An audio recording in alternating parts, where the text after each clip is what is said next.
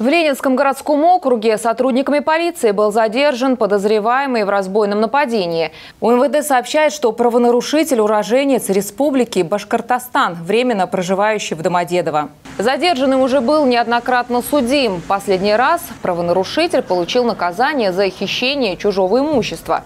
Очередное преступление он совершил на школьной улице. Кусачками нанес увечья, проходящей мимо женщине. У мужчины похитил дорогостоящий телефон. Мы шли по дороге, там, как бы, что-то обратились к мужчине, нас обозвал. Мы его толкнули, короче. У меня была какая-то железка, я от психа кинул, короче, в сторону, в его сторону. Но нечаянно попал в девушку. Угу. Это, потом убежал. По данному факту следователям МВД возбуждено уголовное дело по 162 статье Уголовного кодекса. Позже стало известно, что задержанный также виновен в краже аккумулятора и автомагнитолы из автомобиля.